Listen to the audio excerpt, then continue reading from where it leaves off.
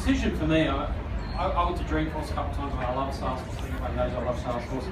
And, and just seeing what what's happened with Salesforce, uh, and then Salesforce actually inviting us to do this, I just thought, wow, we should be doing this. Uh, so it's something that we've really wanted to do, and now I think we can do it, and we're really excited about doing it. And in the past, when I, I look at these things and the three ones, uh, we've really helped a lot of charities. I don't know if everyone knows eWAY, but we, we process about 25% of the internet in Australia. So probably got your credit card. uh, and doing that with all the processing that we've been doing, we've helped uh, about 2,000 charities. We've processed about half a billion for charities since we started. But what we haven't done is the stuff with formally giving cash uh, and getting the staff involved. So we had a little launch ourselves with, with our staff. Uh, uh, early this week we got big gold ones made up for all of them. I Took photos of one, got a big one of balloons. And the staff are really crazy pumped. So for the staff it's a great thing. Um, for me personally, I, I a charity called OzHarvest. I do a thing called the CEO Cook Offer. Uh, I've done that every year. We've raised, um, I've raised $10,000 so far, but that's 20,000 meals.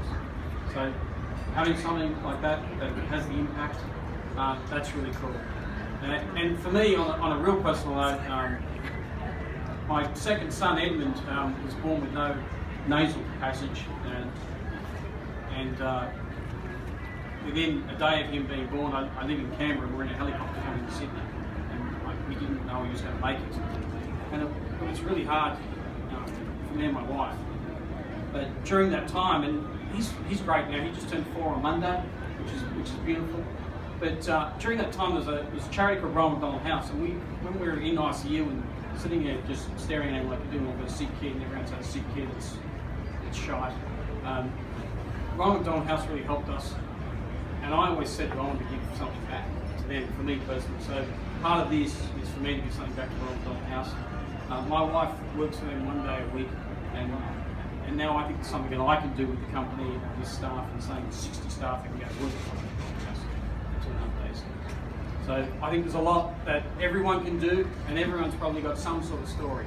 I just think it's great that the more people that get on this 1%, the more you think about it is, what's 1%? It's nothing. 1% can make a massive change. No, we can. Cheers.